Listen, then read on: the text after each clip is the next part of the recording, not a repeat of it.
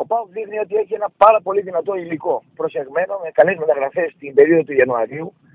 Ε, με στόπερ ε, τον Νίκλασον, ο οποίος στο παιχνίδι με τον Πανιόνιο βέβαια ε, και στον γκολ του Καμαρά που του κάθισε την τρίπλα στο αριστερό πόδι και σε κάποιες άλλες τοποθετήσεις δεν μου φάνηκε και πάρα πολύ φορμαρισμένος, αλλά θα του δώσουμε λίγο χρόνο διότι πρέπει να πάρει ένα ρυθμό ε, στο παιχνίδι του.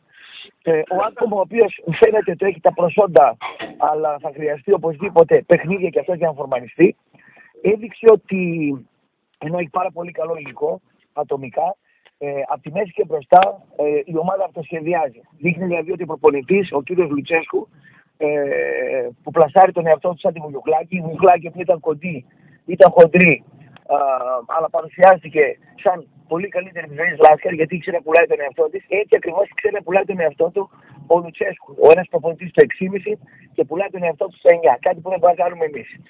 Λοιπόν, τώρα, ε, δείχνει ότι στο κέντρο βελτιώθηκε με τον Ολιβέρα, ο οποίος δεν εξετρέλανε στο παιχνίδι με τον Πανιόνιο ε, στο επιθετικό παιχνίδι. Αφού η μπάλα πήγε από τις πτέρυγες και υπήρχαν πολλά φορτώματα προς τη μεγάλη περιοχή. Ε, και απ' την άλλη έχουμε φυσικά και την κόπα είναι 120 λεπτά, ιδιαίτερα ο Μπίσεσβαρ, ιδιαίτερα ο Βιερίνη, ο οποίος είναι πάρα πολύ επιβαρημένο ε, στο ανέβα κατέβα. Και μια ομάδα του Παναθηναϊκού σχετικά με χαμηλό μέσο όρο ηλικίας και ένα πολύ καλό προπονητή. Έχουμε δηλαδή ένα πολύ καλό προπονητή, τον Γιώργο Δόνη, και ένα προπονητή, ο οποίος είναι δουλειουκλάκι των προπονητών, ένας μέτριος, ο οποίος πλασιάζει τον εαυτό του πάρα πολύ έξυπνα στον χώρο. Τώρα ο Παναθηναϊκός που πιστεύω δεν θα κάτσει να χάσει. Και πιστεύω ότι θα περιμένει να χτυπήσει από το 60 μέχρι το 90. Ε, επανέρχεται το 3-5-2 για τον Παναθηναϊκό με τον Ισούα ε, στα αριστερά, σαν back half. Εκείνο που προβληματίζει ε, στην, ε, κάποιο τρόπο ε, στην πρόβλεψή μου είναι ότι ο Παναθηναϊκός θα παίξει με τρεις στόπερ, αλλά τουλάχιστον οι δύο αποστήσεις είναι κάτω του μετρίου. Μιλάω για τον Μαυρομάτι που έχει και πολύ αφηρία και τον Μπούγκορα ο οποίος είναι πάρα πολύ μέτριος. Πάρα πολύ μέτριος. Ε, άρα πιστεύω ότι ο Παναγενικό θα, θα δεχτεί γκολ. Όπως πιστεύω βέβαια ότι θα δεχτεί γκολ και ο Πάο γιατί τα, ε, τα τελευταία μάτς δέχεται τέρματα ε, στα, στα μισά των. Ε, μάλλον προς το τέλος των μάτς, μετά το 70, που αυτό σημαίνει ότι η έλλειψη καθαρού εξαριού ε, και η βιολογική κατάσταση πάνε προς τα πίσω. Πιστεύω ότι το μάτς θα γίνει γκολ-γκολ. Και πιστεύω ότι θα έχουμε μια πολύ όμορφη ισοπαλία με ένα-ένα ή με δύο-δύο, με πολλές φάσεις εναλλαγές, ε, ρυθμού και κάποια 30 λεπτά, 15 λεπτά που θα παίρνει ο Πάουκ το ρυθμό και κάποια ο Παναθηναϊκός.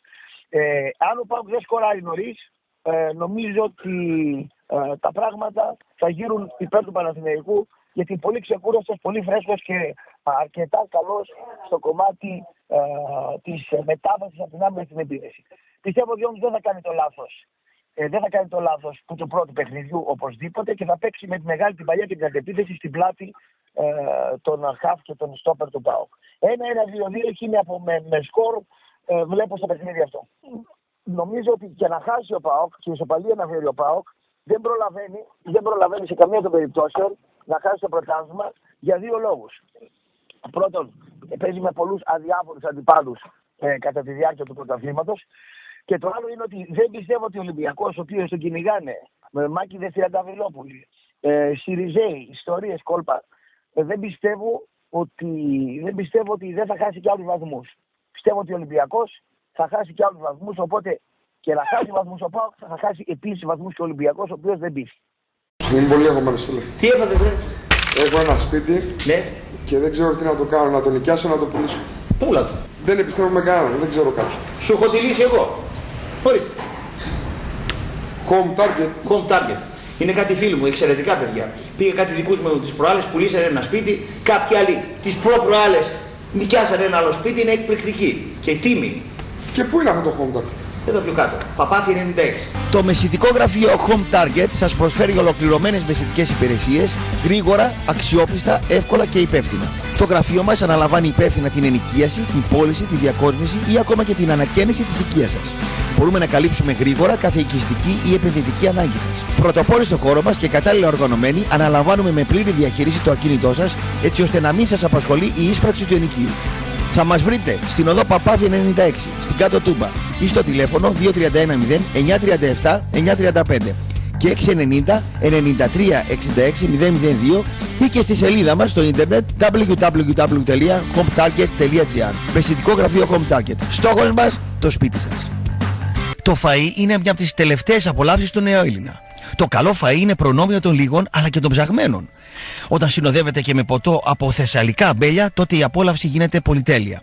Και όταν η πολυτέλεια συναντά την ποσότητα στις μερίδες και τις τιμές κατανόηση, τότε μιλάμε για το γευστικό στέκι που ψάχναμε καιρό. Φαρσαλιλό στο τριάδι για μερακλίδες.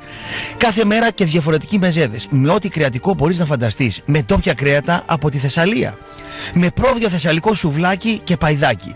Όσο για τον τσιπουρομεζέ, σερβίρεται με τον παραδοσιακό θεσσαλικό τρόπο.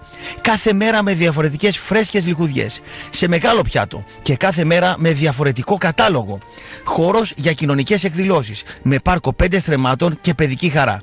Στο τριάδι, ό,τι φας δεν θα το ξεχάσεις και με ό,τι πιείς θα τα χάσεις. Φαρσαλινός στο τριάδι για μερακλίδες. Ραπτό.gr Ραπτό.gr Έχασες κάποια τηλεοπτική ραδιοφωνική εκπομπή και θες να την ακούσεις οποιαδήποτε στιγμή στο ραπτό.gr Εγώ χρησιμοποιώ και το ραδιόφωνο.gr έτσι ώστε να ακούω όλα τα ελληνικά ραδιόφωνα και τα αθλητικά και τα μη αθλητικά και είναι μια πολύ καλή ιστορία για όποιον θέλει να ενημερωθεί να μπει. Εγώ μπαίνω και ενημερώνομαι ραδιόφωνο.gr Πολύ καλό.